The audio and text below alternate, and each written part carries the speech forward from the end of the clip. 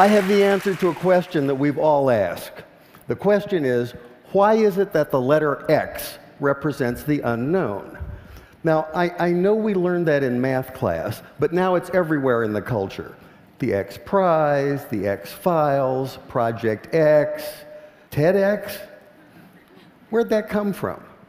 About six years ago, I decided that I would learn Arabic, which turns out to be a supremely logical language. To write a word or a phrase or a sentence in Arabic is like crafting an equation because every part is extremely precise and carries a lot of information.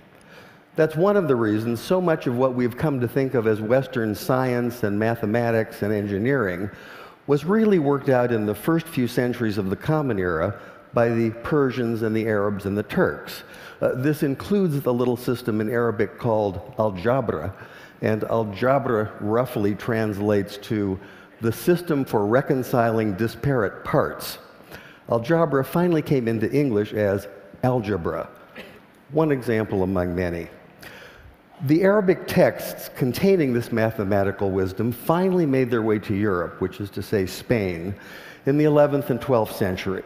And when they arrived, there was tremendous interest in translating this wisdom into a European language.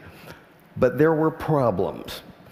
One problem is there, there are some sounds in Arabic that just don't make it through a European voice box without lots of practice. Trust me on that one. Also, those very sounds tend not to be represented by the characters that are available in European languages. Here's one of the culprits.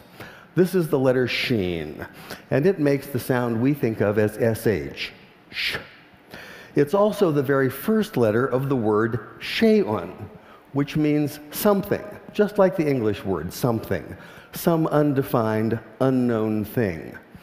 Now, in Arabic, we can make this definite by adding the definite article al. So this is al shay'un, the unknown thing. And this is a word that appears throughout early mathematics, such as this 10th century derivation of proofs.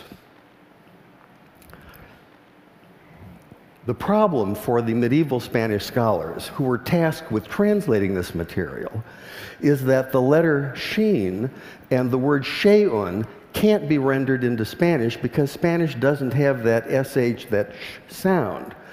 So by convention, they created a rule in which they borrowed the ck sound, the k sound, from the classical Greek in the form of the letter chi. Later, when this material was translated into a common European language, which is to say Latin, they simply replaced the Greek chi with the Latin x. And once that happened, once this material was in Latin, it formed the basis for mathematics textbooks for almost 600 years. But now we have the answer to our question. Why is it that x is the unknown? x is the unknown because you can't say sh in Spanish. and I thought that was worth sharing.